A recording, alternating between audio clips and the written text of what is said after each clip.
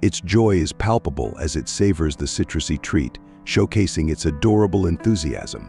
It's a delightful reminder of the simple pleasures in life, capturing the marmot's sheer delight in enjoying nature's offerings.